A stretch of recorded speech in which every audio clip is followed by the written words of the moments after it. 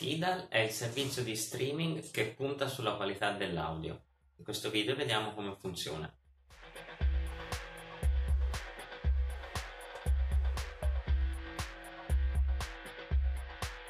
Tidal è un servizio di streaming sviluppato nel 2014 da una società norvegese e acquistato l'anno successivo da Jay-Z e da una cordata di altri artisti con l'intento di promuovere la qualità della musica e di riservare agli artisti una ripartizione più adeguata rispetto a quello che fanno gli altri servizi di streaming, come ad esempio Spotify o Apple Music.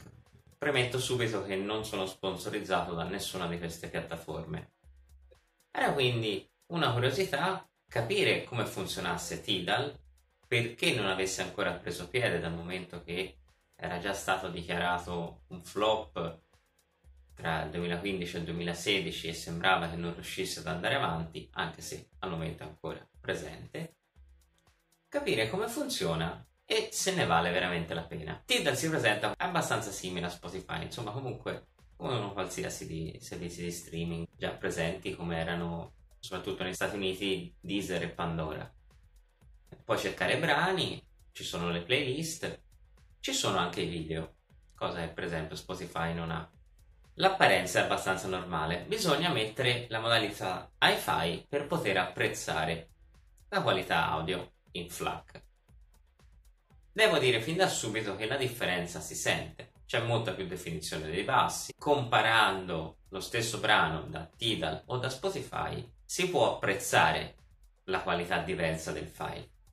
Il problema è chi lo può apprezzare, in che contesto se il brano lo ascolti da un telefono per la strada con delle cuffie, con degli auricolari normali, sinceramente la differenza non è così tangibile.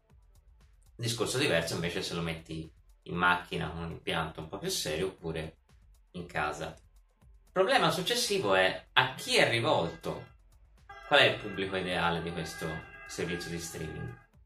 Perché da un lato abbiamo la ricerca della qualità, tipica degli appassionati di musica, degli audiofili, di chi spende tanti soldi per l'impianto e il trattamento della stanza. Dall'altro però il servizio è promosso da alcuni degli artisti più importanti nel panorama pop internazionale. Abbiamo già detto Jay-Z, c'era Kanye West, Madonna, Prince anche all'epoca aveva sostenuto questo servizio. E infatti l'algoritmo rappresenta un po' questo tipo di mercato discografico. È sostanzialmente una vetrina per il pop di maggiore successo a livello internazionale, che sinceramente non c'è bisogno di un file di qualità per apprezzare un disco di Ariana Grande, con tutto il rispetto. Infatti il problema che ho riscontrato è stato che l'algoritmo ti suggerisce principalmente brani in testa alle classifiche americane in particolar modo un altro problema successivo dell'algoritmo è la ricerca casuale. Se inizi ad ascoltare un po' di brani, poi dopo prosegue da sé e in questo Spotify è veramente forte perché riesce ad individuare molto spesso brani attinenti a quello che stai sentendo. Tidal invece purtroppo l'algoritmo non è così ben definito perché o ti propone qualcosa di simile a quello che hai sentito in precedenza ma che può essere un genere completamente diverso da quello che stai ascoltando adesso, oppure si ritorna lì sui brani da classifica.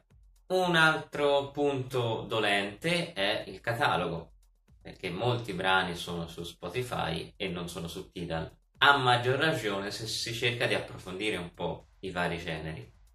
È molto più facile scoprire qualcosa di interessante, innovativo, sperimentale su Spotify piuttosto che su Tidal. E anche lì la possibilità di avere un vasto assortimento è una caratteristica importante per un servizio di questo tipo.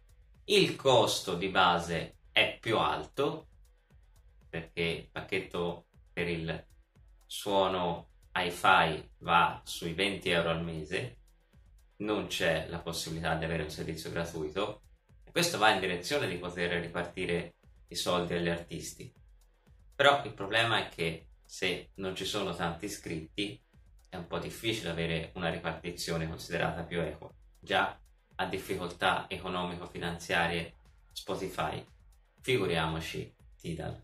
In conclusione, Tidal è un servizio interessante, l'idea di fondo è valida, però è sviluppata male, è sviluppata per un target di riferimento che non è quello adatto a chi cerca invece la qualità del suono e poi ci sono tutta una serie di problemi da superare per renderlo competitivo.